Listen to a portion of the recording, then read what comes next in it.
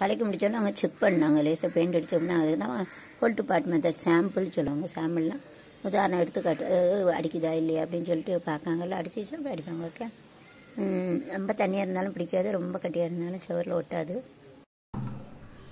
கரெக்டாக கரைக்கணும். கரைச்சி அது வந்து तो उसको पूरा मिल के इसका होल पूरा भाग बना के थोड़ा थोड़ा धीरे धीरे பூரா முழு होल टू पार्ट बोलते हैं, पूरा ऐसा बना के थोड़ा थोड़ा का होल सा टीचिंग वो जो टीचर सिखाते हैं उसका கற்பித்தல் வந்து உச்சநிலை கொண்டு வர முழுகு பிள்ளைந்து கொஞ்சம் கொஞ்சமாக பிள்ளைக்கு அனாலிசிஸ் சொல்லுவாங்க அனாலிசிஸ்னால்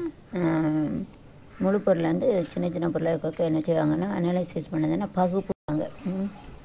பகுக்குறாங்கன்னா பிரிக்கிறாங்க கொஞ்சம் கொஞ்சமாக பகுதி பகுதியாக பிரித்து பெருசாக பகுதி பகுதியாக பிரித்து அடிக்காங்களா என்ன பேரும் முழுசாக வச்சு பகுதி பகுதியாக இதுக்கு தான் கொல்ட்டு பாட்டு மெத்தட் சொல்லுவாங்கன்னா பகுதி பகுதி என்ன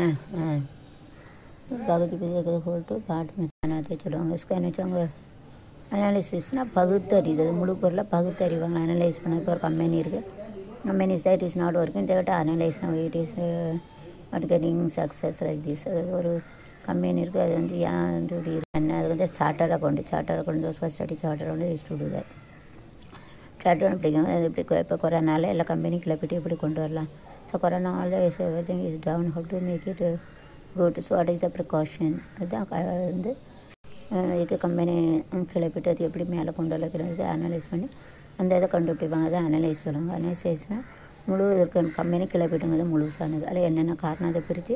எதை வச்சு அதை முன்னாடி வரும் அப்படின்னு சொல்லி விற்கிறத சார்ட்டர் கொண்டு சொல்லுவாங்க कराने में कंपनी आ गया फिर क्या करो उसका आगे कैसे करेंगे क्या क्या कैरेक्टर लेना चाहिए हाथ बात लेना चाहिए, ऐसा करके उसका चर्चा करते हैं, उसका एनालाइज करते हैं, उसको चर्चा करते हैं, उसको जो प्रॉब्लम आते हैं, उसका प्रश्न आते हैं, उसका चर्चा करते हैं, उसको क्या बोलते हैं एनालाइज बोलते हैं, उसको पूरा भाग करके उसको धीरे धीरे थोड़ा थोड़ा निकल के उसके क्या करने का भी दो करना, ऐसा कर सब पूरा येणारे वाट लगा, उसको पुढे कैसे येणार आहे उसको कारण क्या, भाग क्या क्या क्या लेना पाहिजे का लेना पाहिजे ऐकना माहीत नाही या बागाने क्या क्या ऐकना माहित ऐसा ऐकत करके उसको बाहर ऐसे लेके जाएँगे, उसको क्या बोलते हैं? एनालिस मेथड एनालिस मेथड तो उसको बाद में मैं बताऊँगी ओके थियोरिटिकली मैं बताऊँगी कि वो फाइव मार्क्स आ सकते हैं, उसका अच्छे है तो थक नहीं जाते, फिर you are not getting me saving psychologically do easy method. So many things are there, after that i will going to explain okay?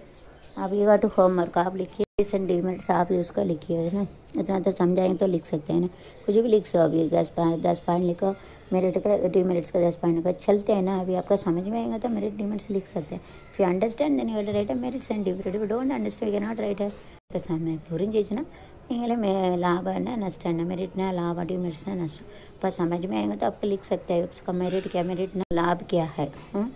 Demerit ना, उसका नष्ट क्या है, वो लिख सकते हैं ना, आपका समझ में कर लेते तो। लिख सकते है उसका नुकसान क्या मेरिट ना ना नुकसान ना मैं sorry sir teacher should teach problem மெரிட்னா அது லாபம் இதில் கூட நோ ஸ்லிப் ஆகிட்டாங்க அது நாக்கு பெறலக்கூடாது जीपी इधर इधर नहीं जाने का जीपी इधर नहीं जाए तो सीधा बाहर सिखाना चाहिए तो मैं कर लेते तो उसको मेरिट मेरिट ना लाभ लिख सकते हो उसको क्या नष्ट है